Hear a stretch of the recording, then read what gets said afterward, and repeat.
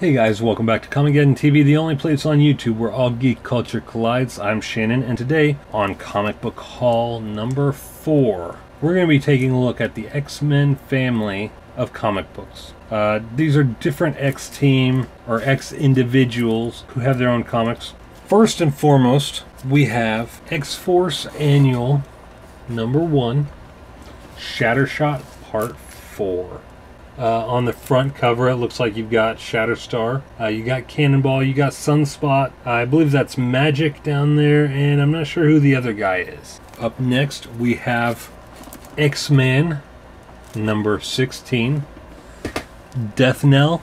Uh, you got X-Man Nate Gray there on the cover uh, with Holocaust, the son of Apocalypse during the Age of Apocalypse. Uh, I always really liked X-Man. I liked his look. I didn't get to read many of his comics, but the ones I did read, I really enjoyed. And I also really liked Holocaust as a villain. Uh, up next, we have Excalibur number 103, the all new, all different Shadowcat, Colossus, and Nightcrawler. Uh, this is from November of 1996, direct edition. Uh, very cool. I really like the look of Nightcrawler on the cover. He's got the long hair, devil horns, uh, his flaming sword. Very nice. Now we have Excalibur number 97 from May of 1996. The new Nightcrawler center stage. A tale of harpoons and heretics. Uh, I didn't ever. I didn't realize there was a new Nightcrawler. I thought it was always just one Nightcrawler, Kurt Wagner but I don't. I haven't read this yet, so we'll see. And finally, we have uh, this one was kind of a disappointment. I haven't read it yet, but I've flipped through it. I thought for sure it was going to have a reprint of Giant Size X Men number one uh, because of the front cover. Uh, this is Marvel Comics Digest first issue starring the X Men.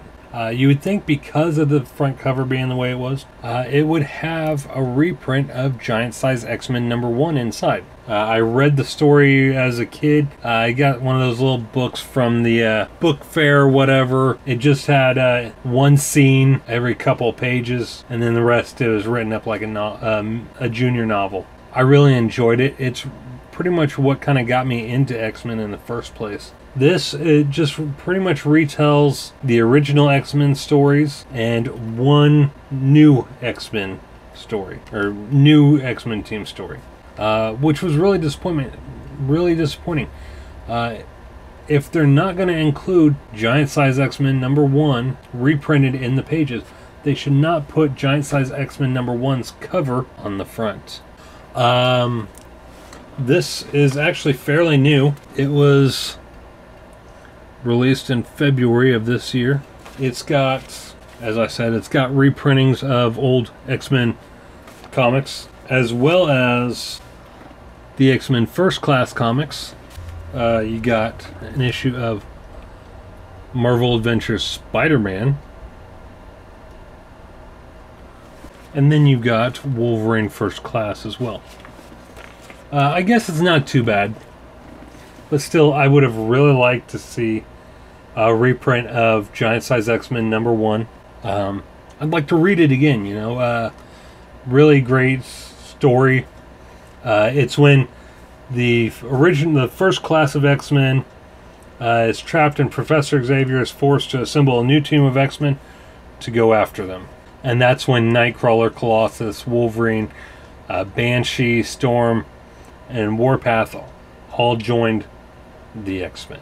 So anyway, there you have it, guys. In this week's comic book haul, uh, I believe it's comic book haul number four, the X Family of Comics.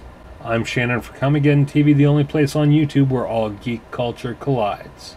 If you enjoyed this video, make sure you hit the subscribe button so you don't miss out on future videos. Take care, my friends.